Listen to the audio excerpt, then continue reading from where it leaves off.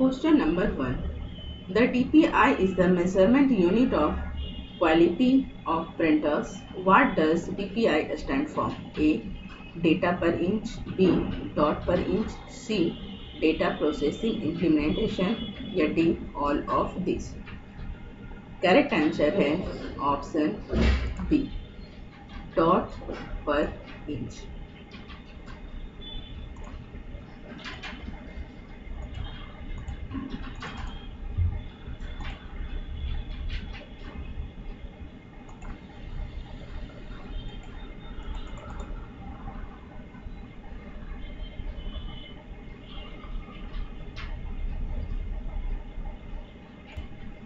question number two which one of the following is the features of a digital computer इनमें से कौन सा feature digital computers का है A digital computer uses zero and one digit of represents in signal B digital computer uses continuous signal in the form of base C digital computers accuracy is poor या D digital computer operates by measuring rather than counting Correct answer है option A digital computer uses zero and one digit of represent the signal hi guys I am Neetu Nigam and welcome to my channel my Pathshala by Neetu Nigam आज मैं आपके लिए class fifth के लिए computers के sample paper and syllabus Silver Zone Olympiad के लेकर आई हूँ।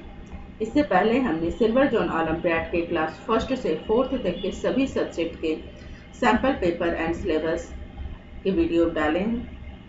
अगर आपने उसे नहीं देखा है तो एक बार अवश्य देखें।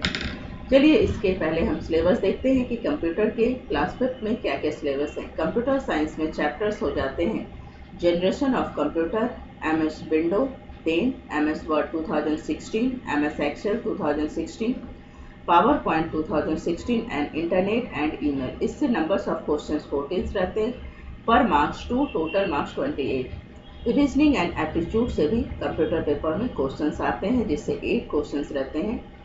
और मार्क्स फोर मार्क्स के रहते हैं total thirty two marks scholar जो जो कि अदर ओलंपियाड में अचीवर सेक्शंस के नाम से जाने जाते हैं, इसमें जो है कंप्यूटर्स के सिलेबस से ही क्वेश्चंस पूछे जाते हैं, लेकिन डायरेक्ट टू डायरेक्ट क्वेश्चन न पूछकर।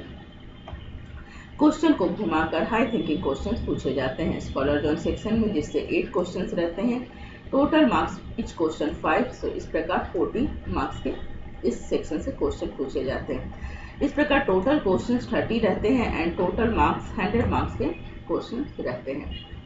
टाइम ड्यूरेशन जो है फोर्टी मिनट्स का रहता है। Duration of the test paper is forty minutes चलिए, अब नेक्स्ट क्वेश्चन हम क्वेश्चन नंबर थ्री देखते हैं।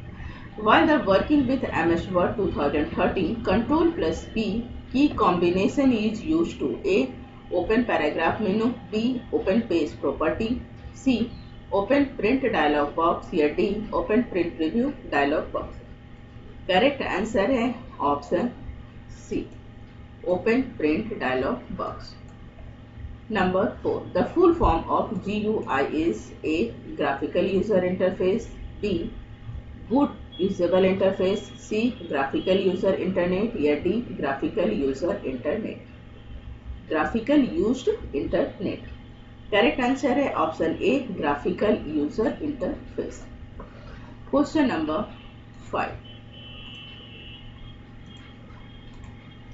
while working MS Window 13 What is the shortcut key combination to increase the font size?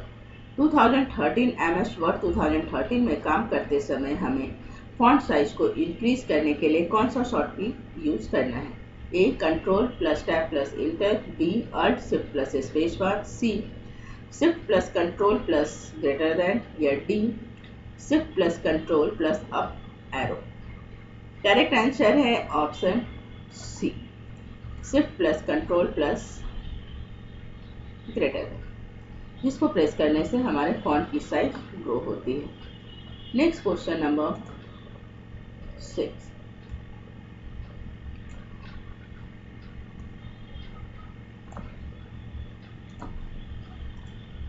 analog computer are use in engineering and dash field A teaching B advertising C painting या D scientific correct answer है option D scientific analog computer engineering and scientific field में use किए जाते हैं।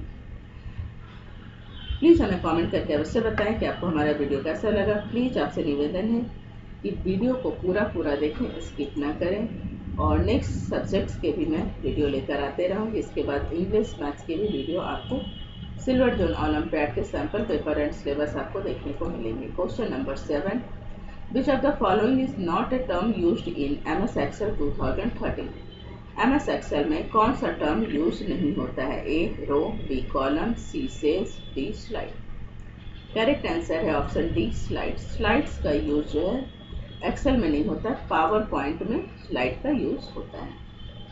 Slide term का use PowerPoint में किया जाता है. Question number eight in which one of the following disciplines, multimedia is used for research process. A, medicine. B biology C engineering या D all of this correct answer है option D all of this medicine biology and engineering इन सभी research process में discipline multimedia का use किया जाता है। Next question number nine